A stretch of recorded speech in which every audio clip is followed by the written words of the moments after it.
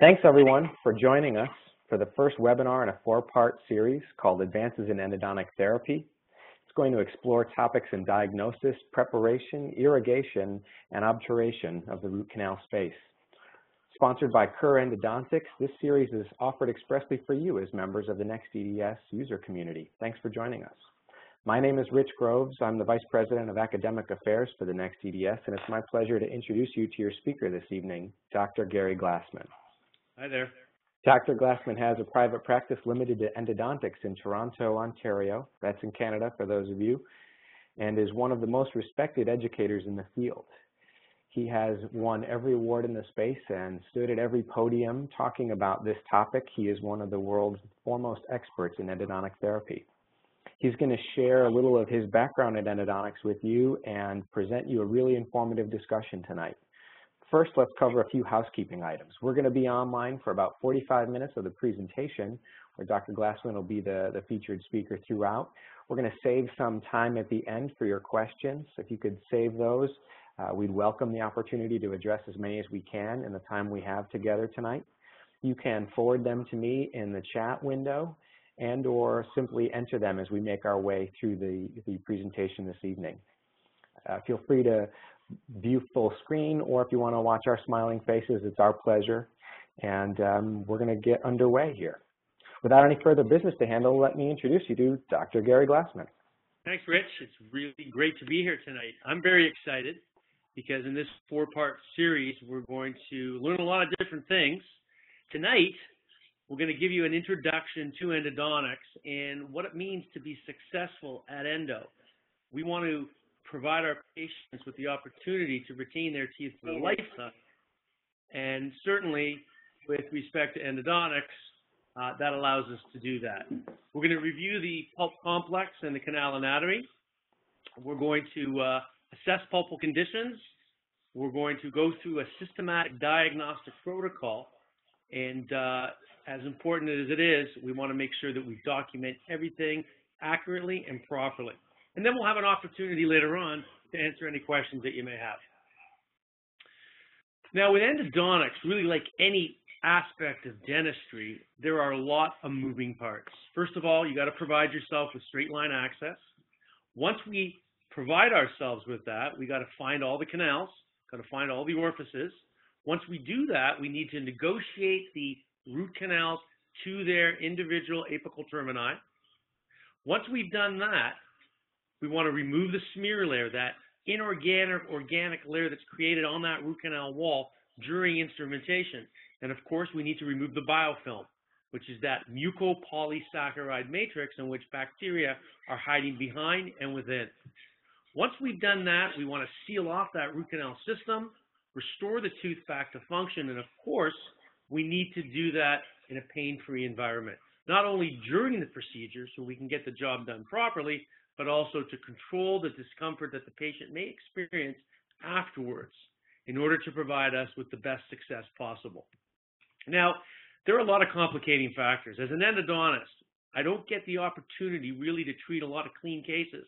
The cases that I see are full of obstacles, calcifying root canals, obstructions such as instruments, ledges, blocking out because of either soft tissue blockages or hard tissue blockages.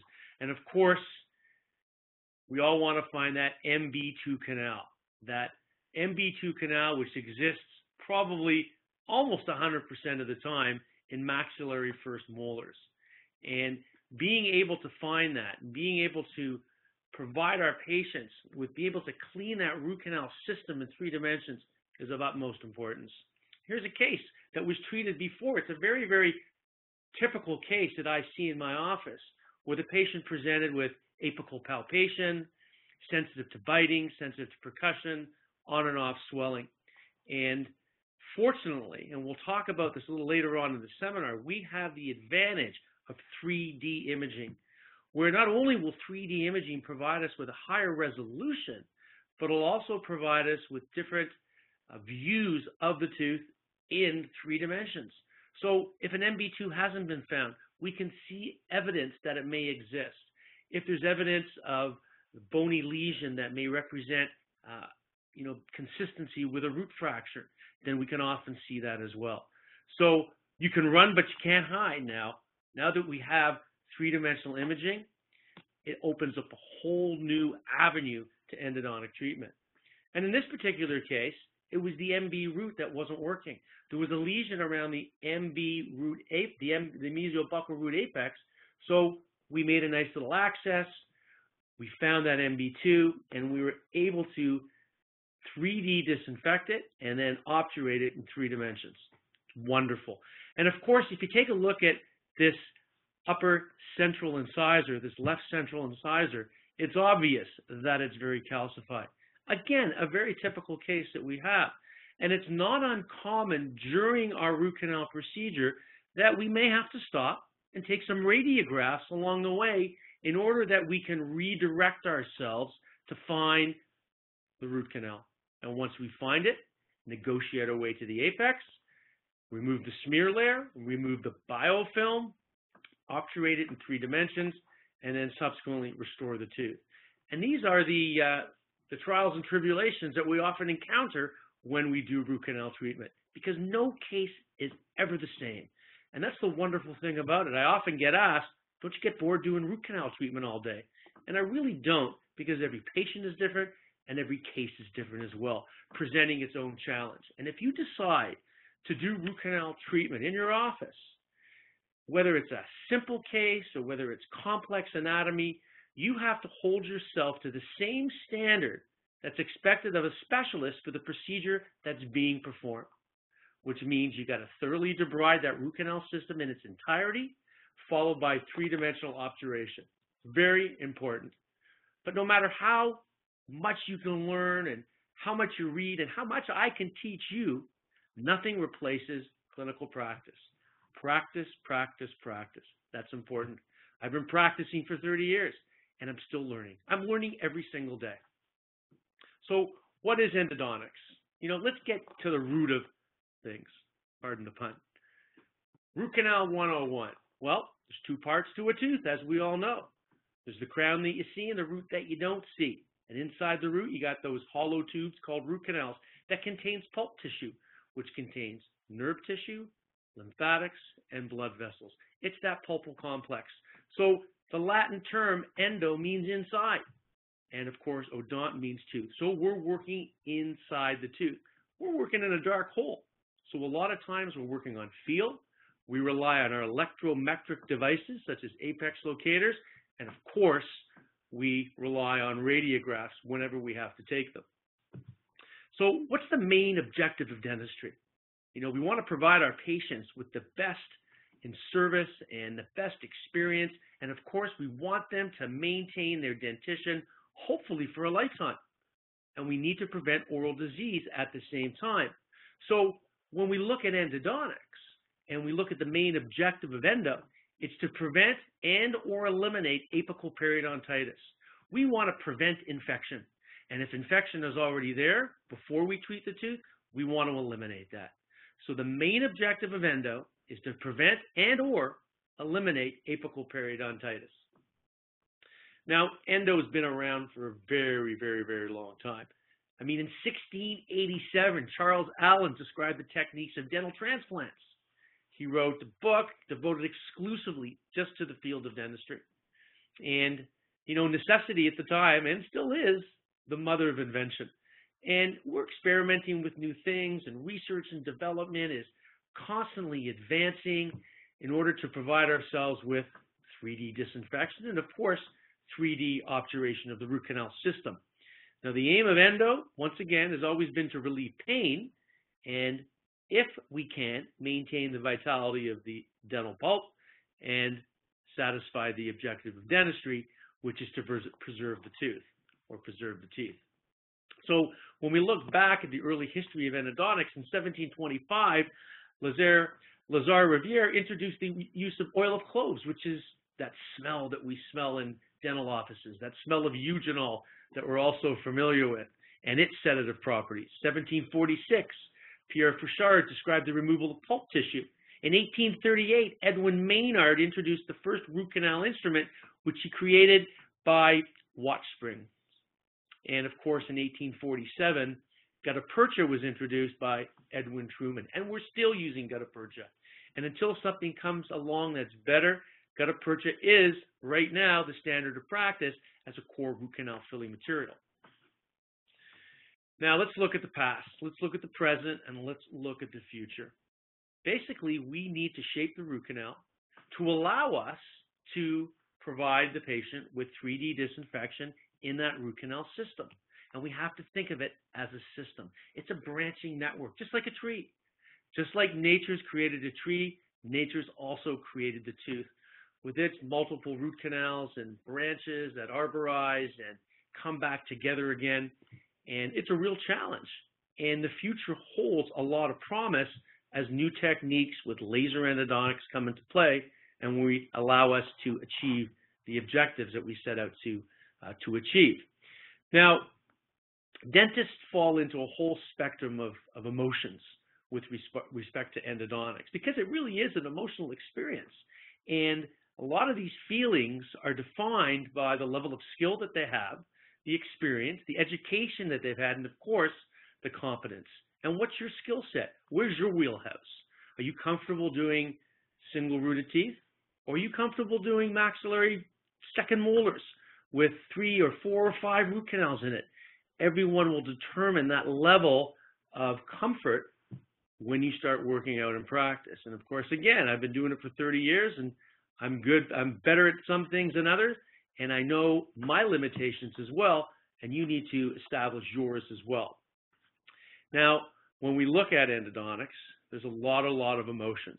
You know, some of us love it, some of us like it, some of us fear it, some of us can't stand it, and some of us just, you know, we throw in the towel and we say, ah, I can't do it anymore.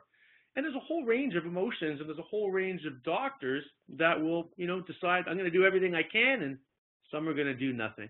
But at least you need to have knowledge of what's available should you decide not to, you know, go into any root canal treatment that uh, that comes your way. There's a lot of energy associated with it as well. And uh, the effects of pulpal disease on patients can be quite debilitating. You know, we get patients coming in with cans of soda, cold soda on their faces, or that uh, proverbial ice pack where, you know, the only thing that's going to resolve their discomfort is a nice cold ice pack. And uh, it can be debilitating. But the effects of treatment can be miraculous. It's amazing when you anesthetize a patient that's been in pain for three days, and all of a sudden a smile comes across their face, and they have this feeling of relief. Wonderful feeling. And you know that you're going to get them out of their pain, hopefully permanently. So let's look at the dental pulpal complex because it really is quite a unique environment. You know, the areas of dentistry sort of revolve around, you know, preserving that dental pulp. We need to protect it. We need to definitely respect it. And if there's decay, we need to remove it and quell any problems within that pulpal complex. And we're always trying to avoid it as well because really we'd like to maintain its vitality wherever we possibly can because it's a sterile environment. And once we make access into a tooth, then even though root canal treatment is quite successful, there is a chance that things could fail. So if we can keep it vital, that's always the, the goal. Now, the dental pulp has a formative and a protective function. And the only other place in our body that's very similar is the brain because the dental pulp, just as the brain, lie in what's called a low or non-compliant environment. Anytime there's inflammation and the blood vessels expand, there's no place for that expansion to occur because it lies within the rigid confines of the hard tooth structure. And in the case of the brain, the skull.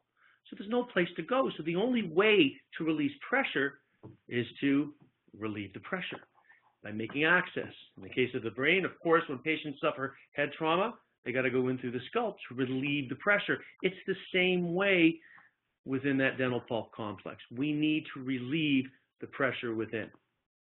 And with patients that come in with symptoms, it's either caused by decay, it can be caused by irritation due to cold and heat.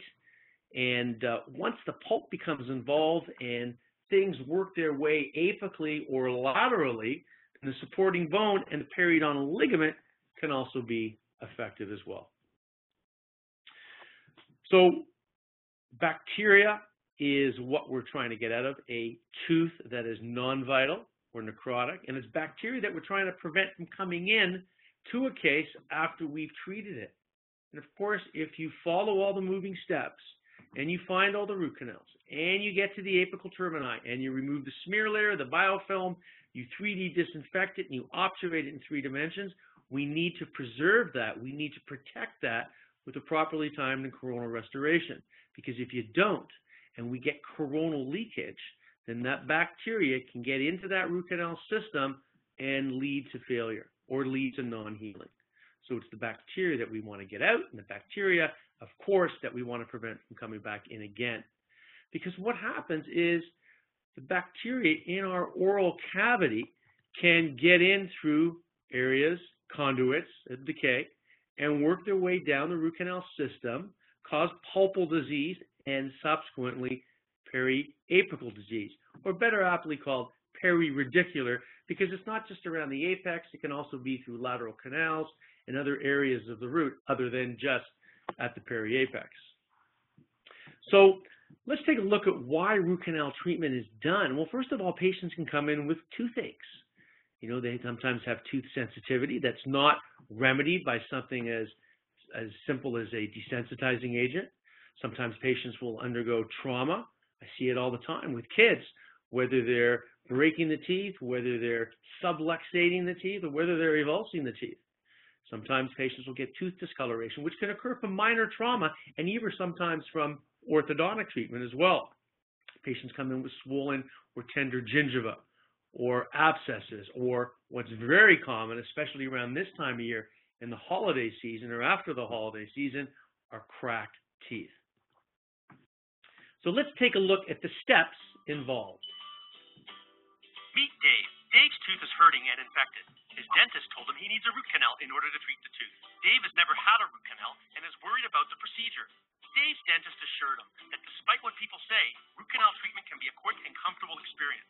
The day of his treatment, his tooth will be numbed, then isolated with a dental dam in order to painlessly provide the procedure in a clean and safe work environment. A small hole is drilled through the surface of the tooth in order to gain access into the pulp chamber and subsequently the root canals. Once the infected pulp tissue has been removed, the root canals are precisely shaped using specially crafted instruments called files. Once shaped, the root canals are then cleaned and disinfected with special solutions.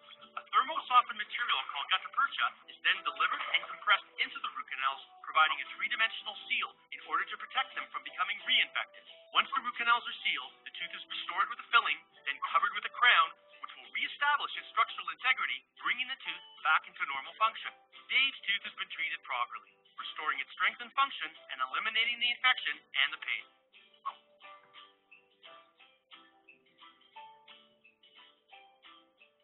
So let's take a look at root canal basics. Let's take a look at the sequence of events that occurs when we do root canal treatment. Of course, we would like to maintain the vitality of the tooth, but if we've committed the tooth to root canal treatment, first thing we need to do is remove the pulp tissue.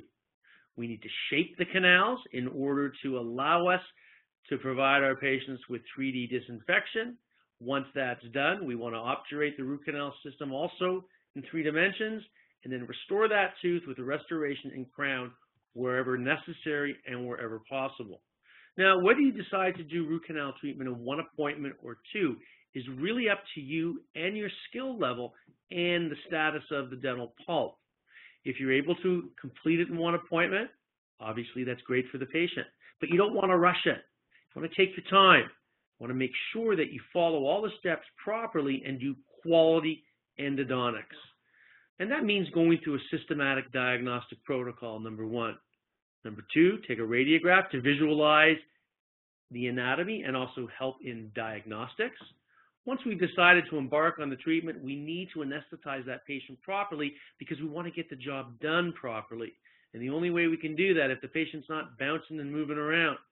And sometimes with nervous patients, conscious sedation is an optional thing that you may want to may want to look at. Now, quality endodontics starts with rubber dam isolation. And as I travel around the world, I'm very disappointed to see that over 80% of dentists worldwide, and that number may be more, do not use rubber dam when they do their root canal treatment. And that is tenet number one. use rubber dam. If you can't place a rubber dam on a tooth, it has no business having root canal being done on it. Because as you'll see, if you don't use rubber dam, the sequelae can be quite, um, quite horrible. And we'll show you a case in a second. Once we've established rubber dam in good isolation, we want to make our access, locate our canals. We want to shape those canals to the apical terminus, irrigate as best as we possibly can. And of course, if we're going to bring that patient back for a second visit, you want to place an antibacterial medication such as calcium hydroxide, which is probably one of the only intracanal, inter-appointment medications that's uh, recommended by most endodontists worldwide. And then we place a temporary restoration in order to seal that root canal system as best as we can until appointment number two. Appointment number two, once again, I like to anesthetize my patients. Some don't, but I want to keep them comfortable. And again, conscious sedation wherever applicable. Rubber dam isolation, reaccess, freshen up the canals with your files, and do a final irrigation protocol, usually using full strength sodium hypochlorite, 17% aqueous EDTA, and a final flush of full strength sodium hypochlorite. Dry the root canals, obturate them in three dimensions, and then restore the tooth. That's a lot to do on one tooth. If you can get it done in one appointment, fantastic. If you can't, slow down. Take your time. Do it in two visits. Some may want to do it in three visits. So once we're done, it's important that the patient is equipped with what they can expect in the manner of postoperative instructions. Quite often, as long as their medical history doesn't contraindicate it, I'll give the patient 400 milligrams of ibuprofen right at that appointment while they're still anesthetized. I want to cut off that inflammatory cascade before it even starts, if I possibly can. Always easier to prevent discomfort and quell inflammation than it is to stop it once it's started. And of course, if they can't take nonsteroidals, something else would have to be given from the selection of pain medications that you have in your armamentarium as well. It's important that if a patient is taking antibiotics, that they fill and finish the prescriptions that you prescribe. And explain to them. It's not uncommon to feel discomfort after root canal treatment. And I use the sort of story to, to patients, even though the nerve is removed from the tooth, there's still nerves in the bone surrounding it, and it's almost like a little micro bruise. It's not uncommon to feel discomfort, sometimes for one, two, three, maybe four days, maybe even up to a week or more. And please tell your patient not to tap on their tooth. They didn't do that before the root canal. Why are they going to start doing it now? Doc, it hurts when I go like this. Don't do that. Post-op instructions. Very, very important. So let's take a look at quality endodontics because quality endodontics starts with isolation. And isolation means using rubber dam. Very simple. Place the rubber dam on the patient's tooth.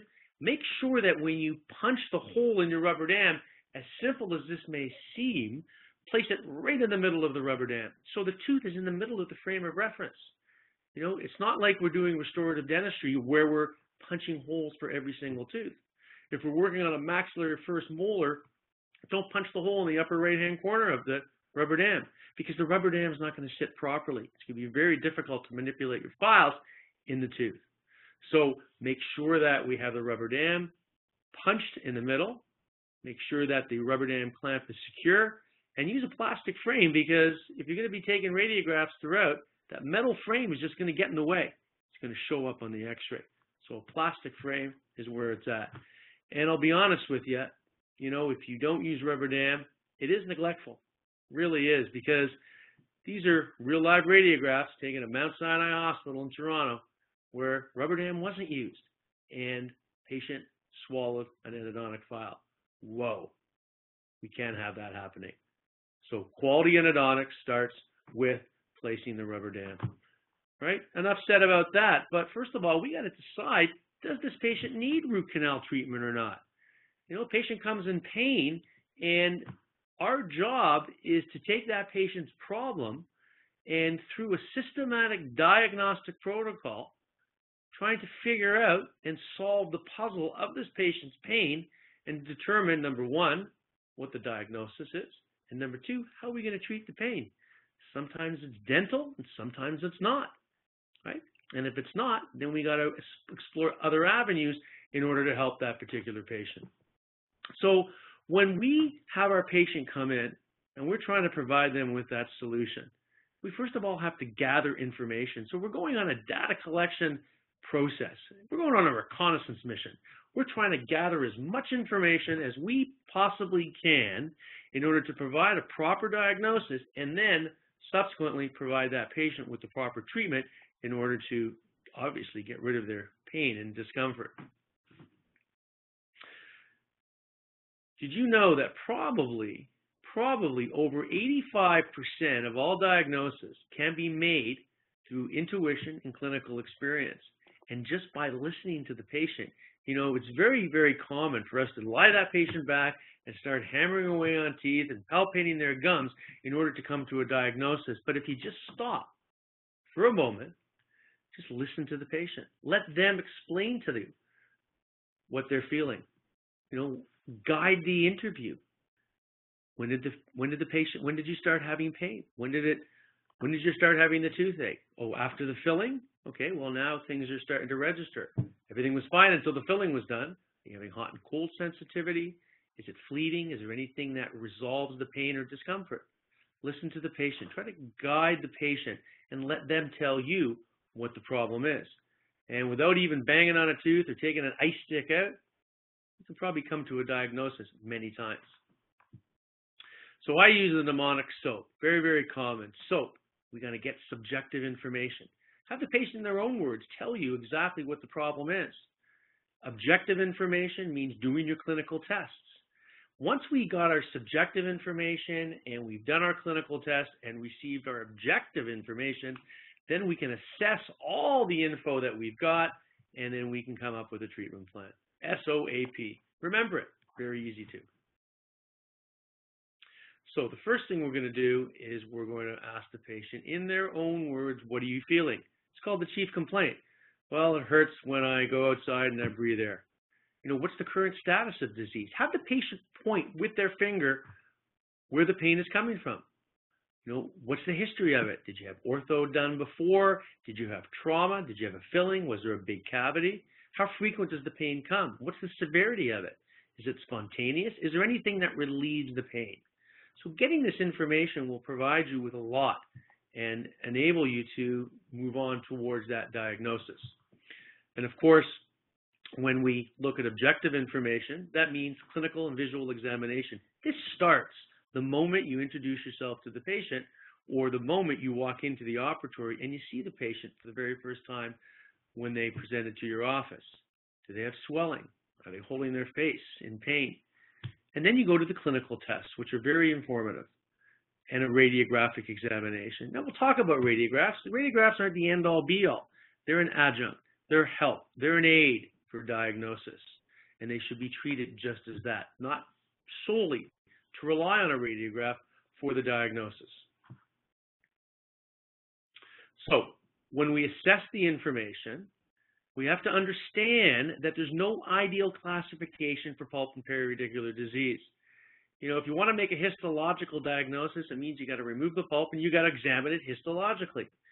And until such a time that we do that, we base our classification on clinical and radiographic findings. And we have to make a dual diagnosis. We have to make a diagnosis based on pulpal status and a diagnosis based on periradicular status. So let's look at the diagnostic test because the purpose of diagnostic tests is to reproduce the patient's symptoms. Listen, we don't want the patient to walk away saying, oh, the dentist hurt me. But we need to know which tooth is causing the problem, and we need to reproduce. So what I always do is when I do my tests, whether they're pulpal tests or periradicular tests, I always test a normal tooth first. It may be far away from the area that I suspect, but I want the patient to be comfortable. I want the patient to provide me with a lot reliable response. If I go directly to the suspect tooth and start hammering away, that patient's not going to trust me. The patient may not give me an accurate response.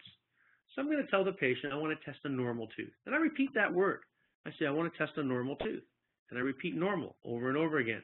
So I'll go somewhere distant from where the patient's complaining of the pain. It may be in the opposite arch. It may be on the uh, on the other side of the mouth. I say, this is a cold test. What do you feel? And they're relaxed, right? Or I'll tap on a tooth that I know is a normal tooth. Now they're relaxed and everything's great.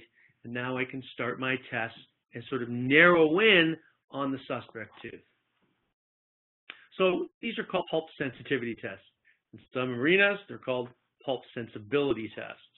And different tests, such as uh, cold tests and hot tests, they assess only the pulp sensitivity, but not pulpal blood flow. If you want to evaluate pulpal blood flow, then go out and get yourself a laser Doppler flow meter. That'll show you true pulp flow.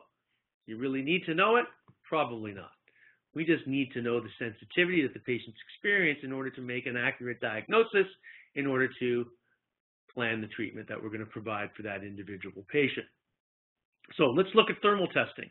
Because when you look at thermal testing, cold or hot, the responses to stimuli can be either normal, they can be exaggerated or lingering, or you may get no response at all.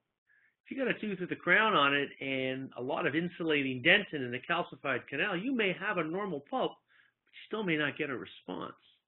Right? So we got to look at thermal testing with a little bit of grain of salt.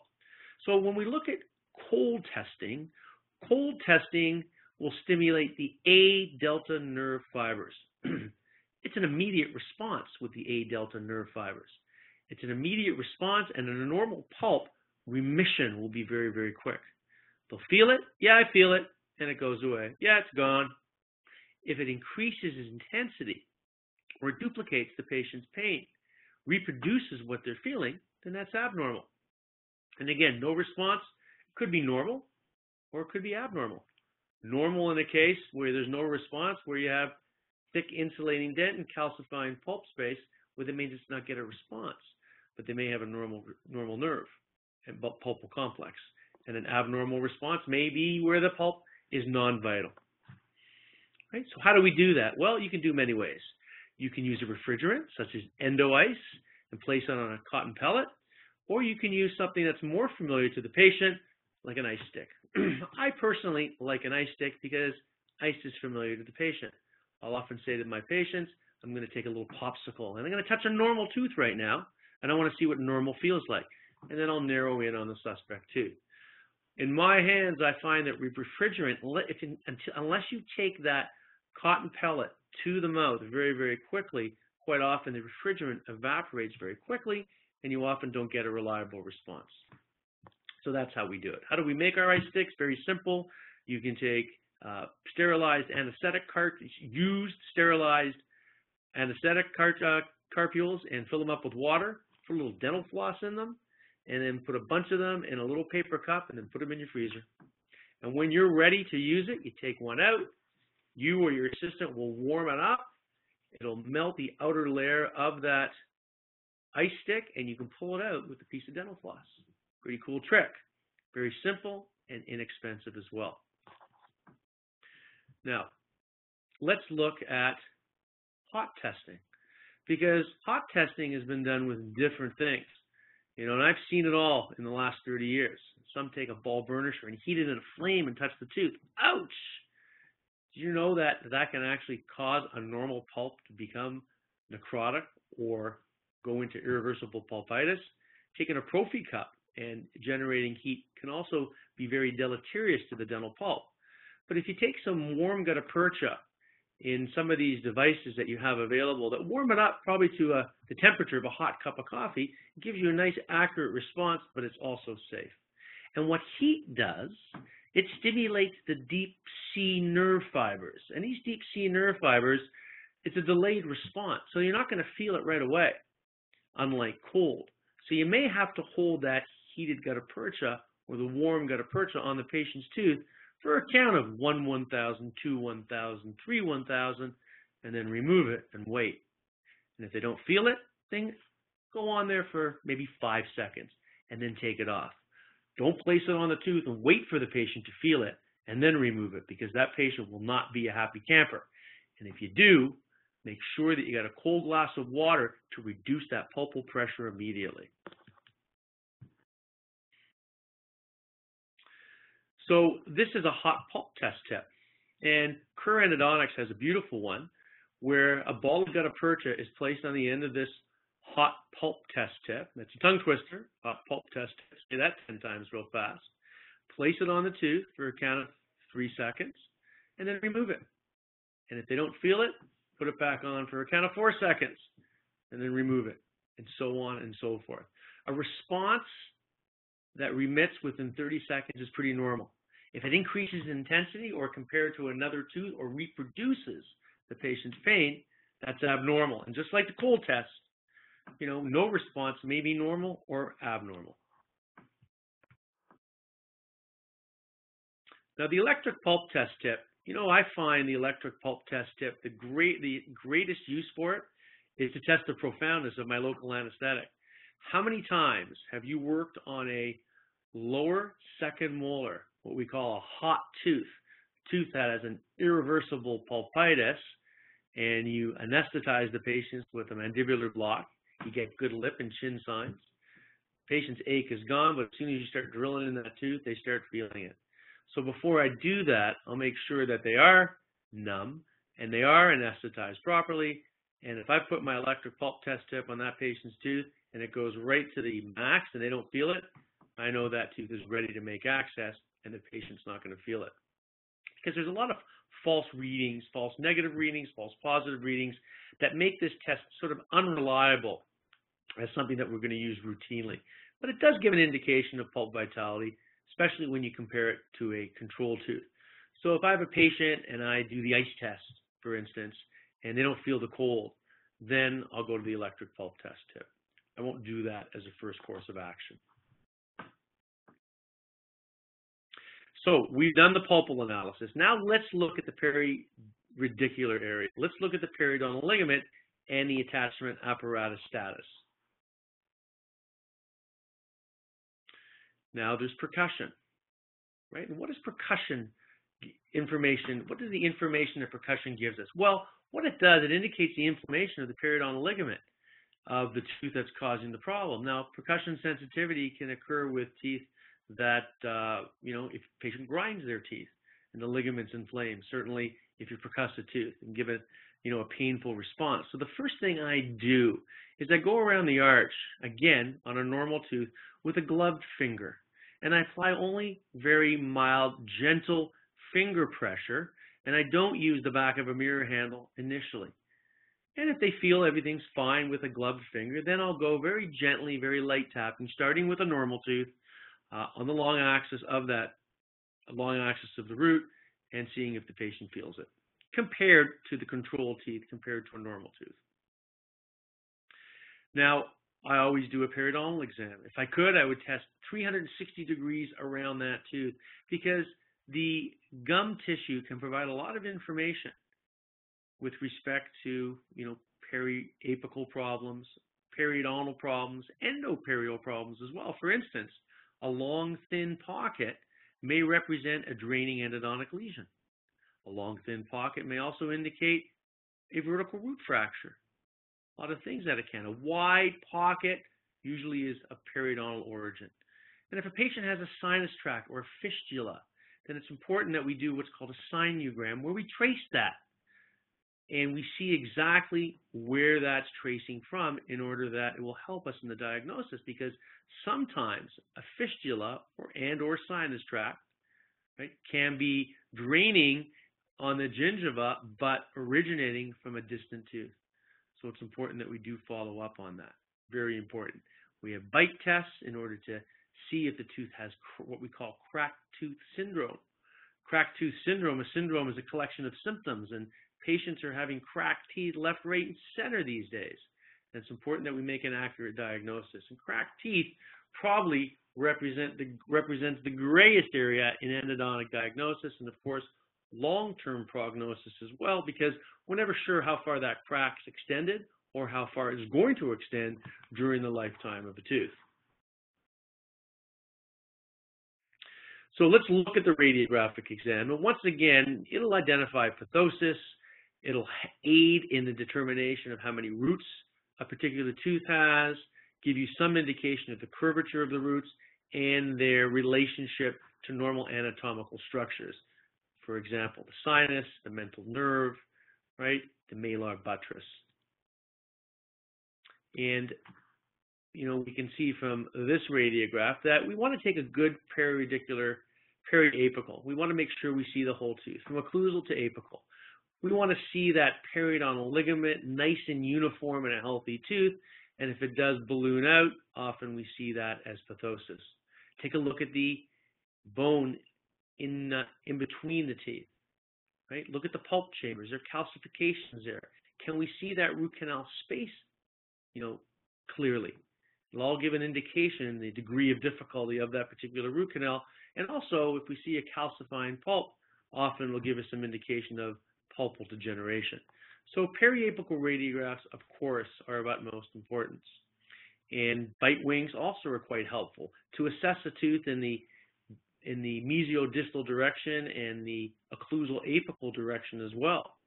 And if you see on the x-ray on the left, you can see the root canal actually through that resorption. That's an external resorption. And of course, when we diagnose resorption, you want to take off angles with your periapical radiograph. In this case, with external resorption, if you come from an angle, that external resorption will often move in relation to the dental pulp or in, in relation to the root canal itself. Internal resorption as well.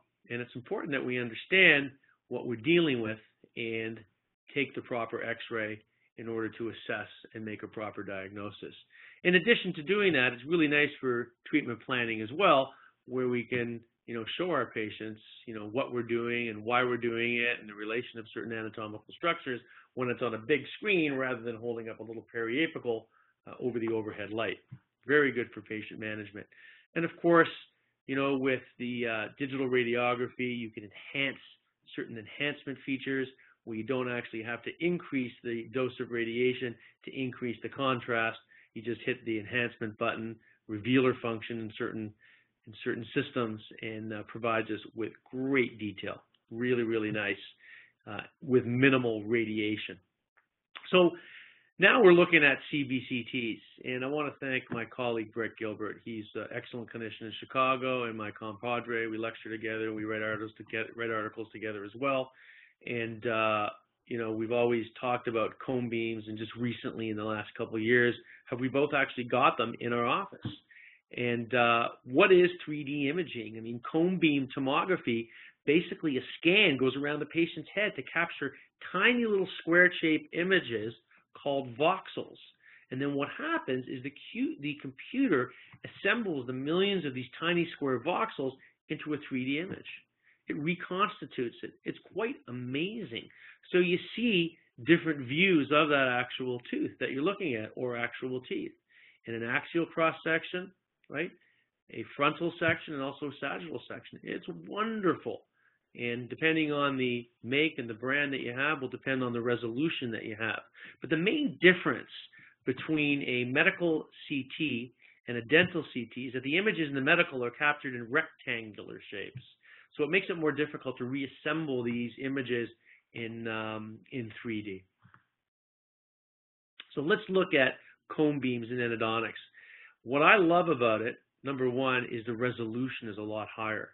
You know, patients come in with discomfort, they've had root canal treatment or they haven't had root canal treatment, and you take x-rays, and it can be sometimes for years, and you don't see any change on the radiograph.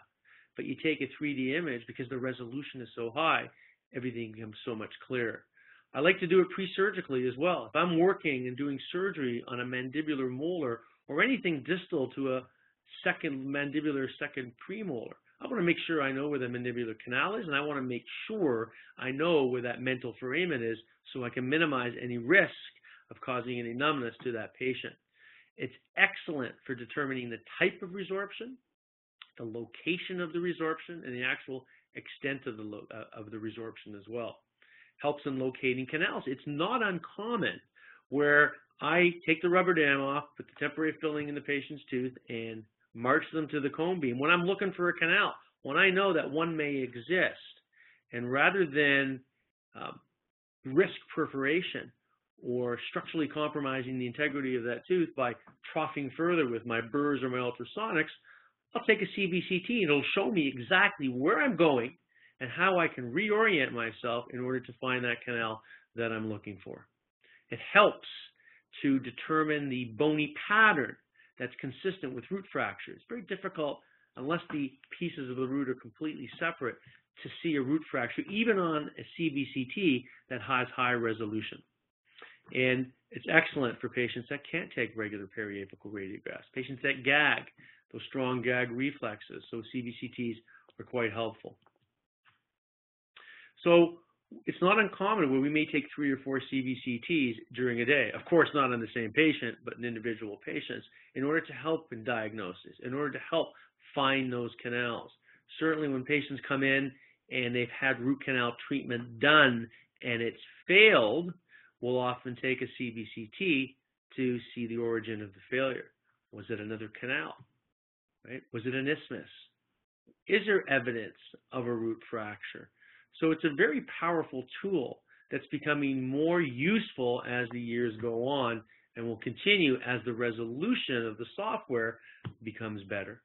Because we can see all the way down that root canal. We can see in the coronal third, we can see in the middle third, and we can see in the apical one third. Fantastic. Cone beams, rock. So we've captured our subjective information from the patient interview. We've gone through our diagnostic tests, our pulpal tests, our periradicular tests, right? We've listened to the patient. Now we're going to make a diagnosis, but not just a single diagnosis. We have to make a dual diagnosis based on the pulpal status and based on the apical status as well. So let's look at the pulpal status. Tooth responds normal to cold, goes the it remisses right away, right? Normal pulp, right? If patient has decay and you remove that decay and they're having cold sensitivity and the cold sensitivity goes away, it's reversible pulpitis. Symptomatic irreversible pulpitis. It's that tooth when you put the cold on and that pain is unrelenting. It crescendos. The patient develops that ache and reproduces the pain that they've been experienced. What is asymptomatic irreversible pulpitis? Well, if there's very deep decay in a tooth, they may not be feeling it, but there's a pulp exposure from that decay, we know there's a pulpitis in there. We just know that that's occurring through the science. So it's asymptomatic, but it's an irreversible pulpitis. Pulpal necrosis doesn't respond to cold, doesn't respond to electric pulp test. Tooth that's had root canal treatment obviously is known as previously treated. And if a root canal has had been initiated, then pulpectomy, etc., previously initiated root canal treatment. And then we make that apical diagnosis. It could be normal apical tissues where it's not sensitive to percussion or biting or apical palpation. Symptomatic, asymptomatic apical periodontitis. Asymptomatic, well, tooth is non-vital, has a lesion of uh, endodontic origin. That's quite evident, but it may not be hurting the patient. How about a chronic apical abscess, one that's draining through a fistula or a sinus tract? What's the difference between a fistula and a sinus tract? We were asked that in our exam. Well, the fistula joins two body cavities, and the fistula is also lined by epithelium. And the sinus tract is lined by granulation tissue. It's more often that you have a sinus tract rather than a true fistula. That won't be on the exam, just in case you're worried. And then there's condensing osteitis. When a tooth has a lot of insult and injury from a deep filling, sometimes even trauma, caries of long-standing origin, is the body will respond by depositing increased thickness of bone at the periradicular area, known as condensing osteitis. And if there's no obvious reason for the pain, well, sometimes there's just no local dental cause for it. Sometimes the patient has virgin teeth, not a filling can be, no cracks, but they have pain, burning pain, a pulsatile pain, a constant pain, a pain that's lasted for months or years. If it's a root canal problem, it usually doesn't last for months or years right? It usually will localize and come to the surface where an accurate diagnosis can be made. Patient comes in with pain and you anesthetize their whole oral cavity and they still have the pain, well, chances are it's not a tooth problem or a pulpal problem, certainly not an endodontic problem. And failure to respond to reasonable therapy. So we have to look at all these things and we have to make some sort of diagnosis because there's lots of things now. And as the population ages, we're getting patients that come in with fibromyalgia. We're getting patients that come in with myofascial pain. I've had two patients over the 30 years that have actually had heart attacks. They were having a heart attack because they were having jaw pain and pain into their and pain into their uh, their left arm. Psychogenic pain. Patients sometimes just want to come and talk, right? And of course, trigeminal neuralgia and atypical facial neuralgia is on the rise as our aging population increases as well. And of course, infections such as herpes zoster, shingles before the outbreak of the skin lesions. Quite often, patients will have severe pain, and it can be quite debilitating. And it's important that we make a accurate diagnosis. And if we can't make a diagnosis, then we do not treat. Give the patient an anti-inflammatory. Give them a painkiller. Schedule them to come back in a week. Give them your business card and your cell number and say if there's any problem, if you need me before your next scheduled appointment, call anytime. Because I'd rather have the patient disturb me at 11 o'clock at night than make the wrong diagnosis and not provide the proper treatment. So let's look at a couple case presentations. And I want to thank Dr. Brian Jaffine from Toronto, who provided this case where patient came into the office and uh, had a problem. 62-year-old female patient referred for endo treatment of the mandibular right second premolar. But when you look at the mandibular second premolar, you don't see really a deep filling. You see a DO composite, right? Distal DO composite. You see a lot of room between that composite and the pulp. But the only thing that the patient had done and their history reve revealed is that they had a restoration. And the pain started after that. And that was the only tooth. So let's zero in, right? That's all about listening to the patient. So tell me, when did the pain start? It started after the dentist did the filling. Which tooth? This tooth. That the only tooth? That's the only tooth, doctor and I've been living on Advil with no relief. So we go through our testing. Patient's medical history, important. Patient had asthma, non-contributory to this particular situation. Clinical exam, normal to percussion, normal to palpation, sensitive to cold and hot, and the pain lingered. And we took a look at the radiograph, and it showed and corroborated that the patient had a recent restoration. So it was a symptomatic irreversible pulpitis. And what's the treatment? Root canal treatment in this particular case. Why did it occur? Well, perhaps that dentist leaned on that drill a little bit too hard. Perhaps smoke came out of the tooth. Perhaps the water wasn't used properly. There's a whole host of things that could have happened during the restorative treatment that allowed this to happen. And sometimes it just happens. Here's a case that came into the office. Dentist did not take a preoperative radiograph and a crown was placed. Nice, well-fitting crown, but the patient presented to the office with pain on biting. A little bit of swelling on the lower right-hand side. We took a radiograph and certainly you can see a previously treated root canal with apical periodontitis. Medical history was non-contributory. And the mandibular right first molar, of course, was sensitive to percussion and biting. A little bit of swelling in the MB fold, but the second premolar and the second molar tested vitally asymptomatic, meaning they responded normal to cold, normal to percussion, and normal to biting. Radiographic examination revealed that a previous root canal treatment had been done, but an apical lesion was present. Symptomatic apical periodontitis of a previously treated tooth. So what's the solution? Well, endodontic retreatment. Certainly there are others. You always have to tell the patient you have the option of removing that tooth and replacing it with a bridge, an implant, or a removal appliance of some kind.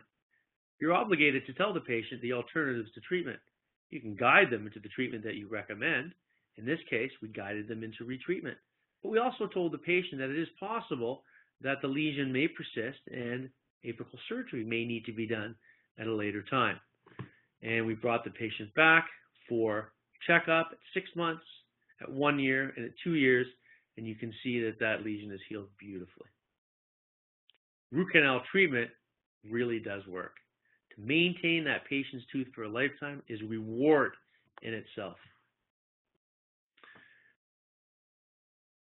Here's a case that was treated in another city. Patient was in on business in Toronto, and uh, patient was having incredible pain. A 46-year-old patient was referred for pain of this lower left first molar. Root canal treatment was started in their hometown of Calgary, but get this, patient had the same symptoms as he did before the root canal was treated. Uh-oh, the same symptoms? I don't like that. And you can see in that lower first molar, there's some radio, uh, radiopaque calcium hydroxide that was placed into the tooth when the pulpectomy was done. So we went through our systematic diagnostic protocol and we see on this second molar that the patient has this distal crack. And adjacent to that distal crack was a 10 millimeter pocket. But what's interesting with this case is that the patient had cold sensitivity, which indicates to me that this crack probably was somewhat new. Patient had a history of eating unpopped popcorn kernels. Went to the movie theater, trailer was over, no popcorn left, started crunching on those little tiny popcorn kernels and crack. The tooth cracked. It's important to test adjacent teeth as well. But the lower first molar had the pulpectomy with the radiograph, radiopaque calcium hydroxide. So what did we do? Well, let's take out that second molar because that was the offending tooth. It had a symptomatic irreversible pulpitis and a vertical root fracture. 10 millimeter pocket. There's no hope for that particular tooth. So we finished the root canal on the first molar. And of course, the question that came out of the patient was, did that tooth really need root canal? And the answer was, probably eventually, may have, we don't know. Point is, make an accurate diagnosis, take your time. If you can't make the diagnosis, don't treat. Reappoint the patient. Doesn't hurt. Give them your cell number. Give them your email address. Tell them that you're available. So they have that as a little bit of a security uh, security blanket. So they'll know. They'll build confidence in you because the last thing you want to do is treat the wrong tooth. And of course, proper documentation is key. So, so important. Write everything down. Make sure that you do. So if the patient comes back again, you know exactly what's going on and what happened. So in summary, hopefully we've satisfied the objectives of endodontic treatment, right, which is to prevent or eliminate apical periodontitis and satisfy the objective of dental treatment, which is to retain the patient's tooth, hopefully for a lifetime. And there's a whole host of factors that are involved with completing a successful root canal making a proper diagnosis, understanding pathosis is, is important, making sure you make a proper diagnosis and met out the proper treatment. And again, I can't emphasize enough, do not treat until you've made an accurate diagnosis. So at this point, what I'd like to do is uh, hand the things back to Rich and uh, have a little discussion, maybe a little Q&A. Absolutely. Any questions you may have. I don't think any of us realized that it would be a, comedy show as well as an informative endodontics lecture this evening, Dr. Glassman. Really enjoyed your humor throughout. I'm sure everybody here did too. There's some uh, some really nice comments, but let's start with this particular one from Lindsay, who asks, "Why are electric pulp testers debated as a diagnostic method? How come they're in that conversation today?" Well, it just doesn't really provide such an accurate accurate information. It's it's either black or white. They either feel it or they don't. There's no in between, and that's the thing. Plus, you can get a lot of false positives with electric pulp testers because a lot of times you get conduction into the periodontal ligament as well. So what you may feel that may be pulpal may actually be periapical to periradicular as well. Gotcha. A little uh, little off the, the reservation. Um, I know that this topic is something you're going to explore a little bit further in the next part of the series, but would you touch on one of our guests is asking us about removal of the biofilm in the smear layer, and specifically what is your in, in your repertoire for that for that process? And I know that it's a longer answer than you can probably give here in this in this session. Well, to remove the biopsy, to remove the smear layer, number one, you got to remove the organic component, which is organic tissue, obviously, and you want to remove the inorganic. So to remove the organic tissue, we use sodium hypochlorite. And there's many studies that are looking at different dilutions of it. But if you look at the studies by Dunavant and others, and we'll go through that in uh, in one or two seminars from now, that um, full strength sodium hypochlorite is the best, dissolves tissue the best. If you warm it up, it actually increases the chemical reactivity of it by up to four times. And with respect to the inorganic component of the smear layer, we use a 70% aqueous solution of EDTA. Very effective for removing that. I feel a little guilty. I, have seen uh, read ahead in the script a little bit, and I know that we're going to talk about the chemistry specifically in, in, the, in the coming weeks in this series, uh, which I think also addresses Vrushti's question. He asks, uh, can you explain methods to place calcium hydroxide to the apex when you don't have instruments and some of the latest innovations uh, like Lentulo spirals and others that I know are part of your repertoire, Dr. Glassman? Well, yeah, it's a tricky situation because you want to make sure that you keep that calcium hydroxide within the confines of the root canal itself. And you're not going to get a three-dimensional seal with fill of calcium hydroxide. If you're lucky, you're going to get it in the coronal third and possibly as close to the apex as you can without extruding it past the apex because it's very alkaline. It can be quite caustic, inflammatory potential as well. So what I do inter-appointment, should I do a two-appointment endo, I'll make sure I dry my canals. I'll fill up the pulp chamber with aqueous calcium hydroxide, one of the proprietary brands. Uh, you can also do it inexpensively by going to the pharmacy and getting calcium hydroxide USP, medical grade powder, mixing it with sterile water. And what I do is I place it into the pulp chamber, fill up the pulp chamber brimful with it, and I'll use a Lentulo spiral very slowly, very gently, only in the coronal third, and that will help drive it apically, but again, be very safe with it. That's great. Uh, question from one of our students, Daniel, who asks, is hot testing necessary in endo? In their school environment, they concentrate on cold testing. I agree. Cold testing probably is going to be used way more than hot testing. Um, but some patients come in and their chief complaint is it only hurts when I drink something hot, right? So that'll reproduce the patient's symptoms. So that's when I'll bring up my hot pulp test tip in those situations. Also, there's something that I call a reverse cold test. And uh, sort of getting off topic a little bit, you know, patients come in sipping a can of soda or sipping a cold bottle of water because and when you have a degenerating pulp, often the intrapulpal pressure builds up and just the body heat will often cause the patient to have severe pain. So what I'll often do is I'll tell the patient, stop sipping the water, let the pain build, and I'll go around to a tooth with an ice stick, every tooth with an ice stick, and they may feel it, they may not. And then when you get to the suspected tooth, all of a sudden that pain decreases. Kind of cool test. Called the reverse ice test. That's new for me as well. Uh, Dalia said, great lecture, Dr. Glassman. What about pulpal and apical diagnosis of immature teeth with recent or previous history of trauma?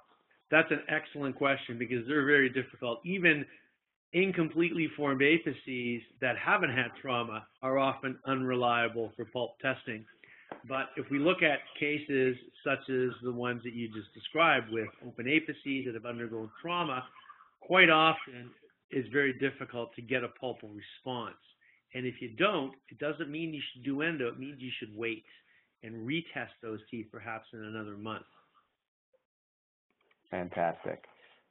Uh, when you're in a two appointment root canal approach, how long do you normally look to schedule your, your patients, Dr. Glassman, between those two intervals?